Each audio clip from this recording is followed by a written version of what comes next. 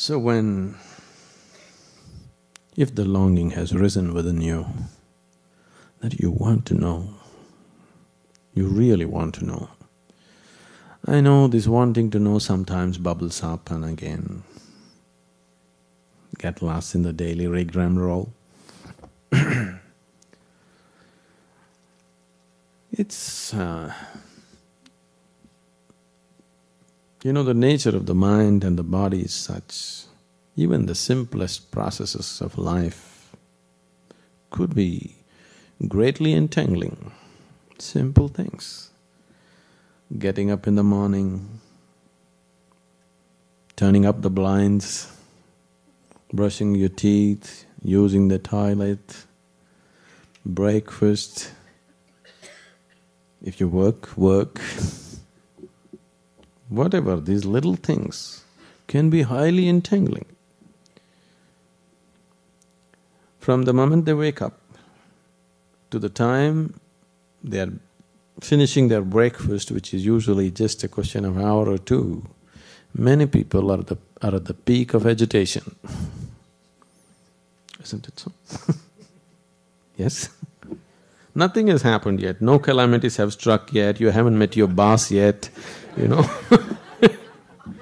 Nothing has happened.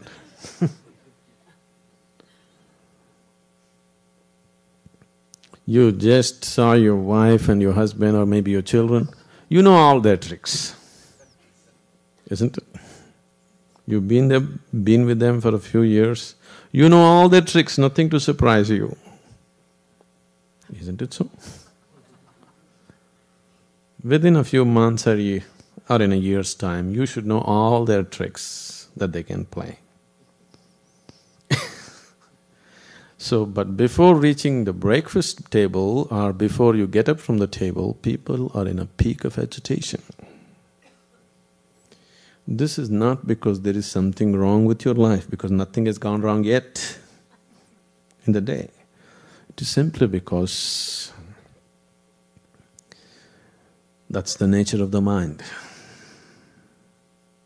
If you allow it to rule you, that's how you go, there is no other way. It doesn't matter whether the life situations are going well or not going well. So, if this is the nature of your mind and this is the way life is going on, definitely it's time. Definitely it is an urgent need in everybody that they must look they must look at the very nature of their life with a much deeper perspective, with a much deeper penetration into it. Isn't it so? The time has come, isn't it?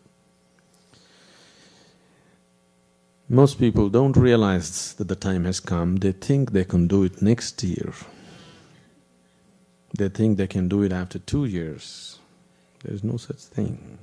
If you value your life, the time has come. Only if you don't value your life, then time hasn't come, isn't it?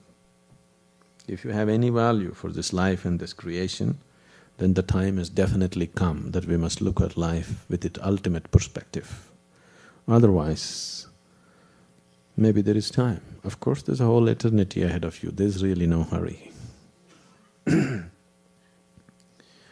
if the longing arises, the longing genuinely arises in you, really when your heart cries, wanting to know, when you know the pain of ignorance, when you really know the pain of ignorance, then a master arises.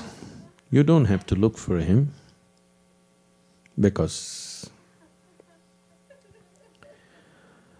if your longing to know has really picked up a certain intensity within you, if the pain of ignorance has really, you know, really gone deep into you, then he will anyway happen.